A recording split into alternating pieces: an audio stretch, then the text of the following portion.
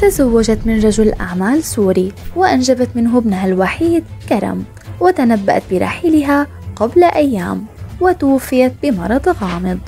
دينا هارون فنانة سورية من مواليد يناير عام 1973 وهي ابنة محافظة اللاذقية والشقيقة الصغرى لتولاي هارون.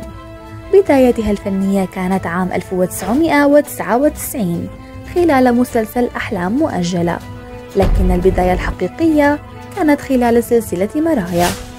بدأت دينا هارون مشوارها الفني بأدوار صغيرة في مسلسل أحلام مؤجلة عام 1999 كما شاركت في مسلسل المقامات الصحراوية عام 2001 حتى اختارها ياسر العظمة للمشاركة في مسلسل حديث المرايا عام 2002 توالت عليها الأعمال حتى أصبح سجلها الفني يعج بالأعمال المميزة ولكنها ابتعدت عن الفن لمدة ثلاث سنوات ولم يعرف أحد سبب ذلك.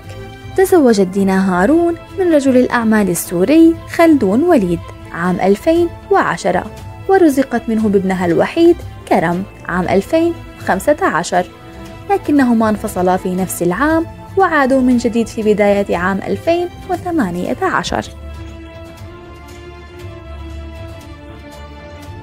دخلت الفنانة الراحلة دينا هارون المشفى بعد معاناتها مع مرض غير معروف في الأمعاء وقيل وقتها أنه سرطان ثم خرجت شقيقتها الكبرى تولاي لتنفي ذلك لكنه حدث مضاعفات أثرت على عمل الرئتين فوضعت على جهاز التنفس لكنها لم تنجو. ورحلت عن عالمنا في الثامن عشر من أكتوبر عام 2018 عن عمر يناهز 45 عاما. وقبل وفاتها بعدة أسابيع نشرت منشورا على حسابها الرسمي جاء فيه. يهم الموت فينهض ثم يبدأ بالقدوم إلينا. من هناك وببطء نشعر به فينتابنا الشعور بأننا نريد فعل كل شيء وأي شيء.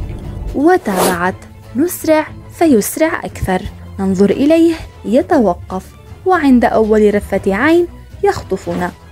وحينها نعتها شقيقتها تولاي هارون بكلمات مؤثرة جدا.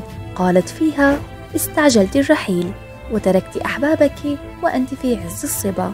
دينا كانت تشاكسني وتمازحني كثيرا لكن مزحتها الأخيرة كانت ثقيلة جدا فرحلت وهي شقيقتي الوحيدة. لن نقول إلا ما يرضي الله وهي الآن بين يدي ربها في مكان أفضل بالتأكيد. رحلت عن عالمنا وتركت أثرها الطيب في قلوبنا.